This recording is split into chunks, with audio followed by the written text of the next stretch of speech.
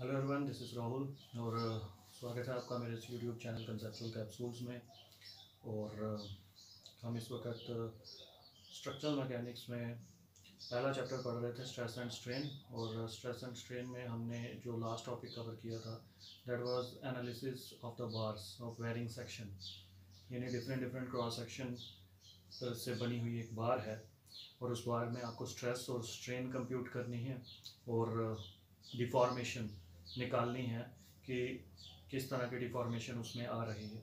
तो हमने last topic पढ़ा था जब हमें पता है कि अलग अलग तरह के नेचर की फ़ोर्स होती है और जिस नेचर की फ़ोर्स या लोड किसी और बॉडी पे एक्ट करता है उसी नेचर की हमारी स्ट्रेस होती है और उसी तरह की स्ट्रेन आएगी। अगर टेंशन लग रही है तो इलांगेशन होगी अगर कंप्रेशन होगी तो बॉडी जो है वो कॉन्ट्रैक्ट करेगी उसकी आ, वो उसकी शेप या साइज़ जो है, वो रिड्यूस होगा।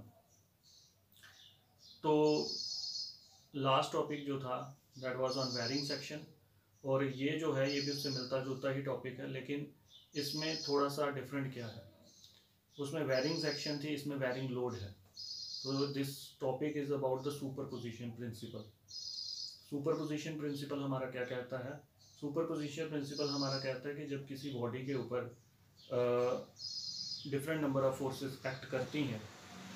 तो बॉडी जो है, उसका जो स्ट्रेन होगी, वो जो भी हमारी डिफरेंट क्रॉस सेक्शंस हैं, उनमें जो इंडिविजुअल स्ट्रेन डेवलप हो रही है, उन सबको लास्ट में, उन सबका एल्जेब्रिक सम जो होगा, वो हमें स्ट्रेन या डिफॉर्मेशन जो है, वो देगा। तो वो आपको एक डायग्राम यहाँ पे नज़र आ रही है। उस डायग्राम में अगर आप ध्यान से देखो तो उस डायग्राम में आपको नज़र आ रहा है एक सेक्शन है और लॉन्गिट्यूडनल सेक्शन आपको इस बॉडी की इस बॉडी की लॉन्गिट्यूडनल सेक्शन सामने नज़र आ रही है और इसमें पार्ट तीन पार्ट का ये बना हुआ है, एक ए बी पार्ट है, एक बी सी पार्ट है और एक सी डी पार्ट है। ए बी पार्ट जो है, अगर इसमें देखें तो दो फोर्सेस एक्ट कर रही हैं 120 एक साइड जा रही है और दूसरी साइड इसने 220 बताई हुई है। और अगर बीसी में देखें तो 220 और 260 आपको नज़र आ रही है, जो कि अंदर की तरफ़ लग रही हैं। और लास्ट पार्ट जो है, ये है हमारा सी डी पार्ट जिसमें एक फोर्स दोनों फोर्सेस बाहर की तरफ़ जा रही हैं। एक 160 है, जो दूसरी साइड में और एक 260 है, दूसरी साइड में। तो सबसे पहले इस तरह के क्वेश्चन को करने के लिए आपको एक फ्री बॉडी डायग्राम बनानी पड़ती है। और फ्री बॉडी डायग्राम भी आपको दिख रही है। सामने आपको स्क्रीन पे जो दिख रही है दैट इज़ फ्री बॉडी उसने जो अभी आपने क्रॉस सेक्शन देखा था, जो अभी आपने सॉरी लॉन्गिट्यूडनल सेक्शन देखा था, उसको इसने तीन टुकड़ों में बांट दिया है। पहली सेक्शन 120 अगर बाहर की तरफ़ जा रही है, इसका मतलब अंदर भी 120 ही जा रही है। क्वेश्चन में आपको 220 दिया हुआ था 220 में से वो 120 को सब्ट्रैक्ट कर दो तो पीछे अब अंदर की तरफ़ आने वाली जो फोर्स है बी टू सी में, अब जो पीछे बचेगी 220 में से जब आप 120 पहले वाले में चलेगी तो पीछे बचेगी 100 100 तो हंड्रेड अंदर की तरफ़ जा रही है डायरेक्शन आपको पता थी अंदर की तरफ़ थी तो दूसरी साइड से भी वो हंड्रेड ही होगी।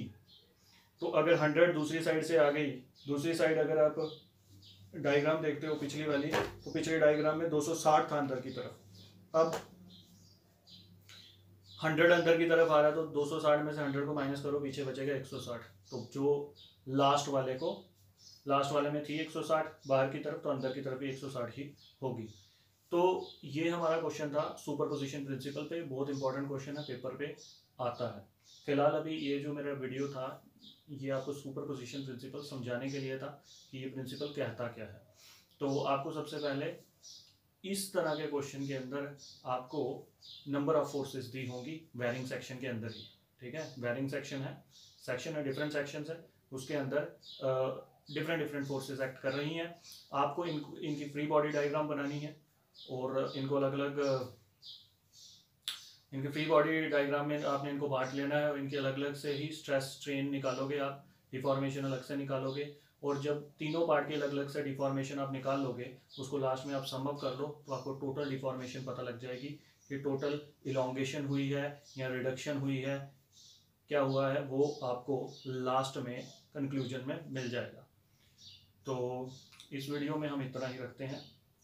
Thank you very much.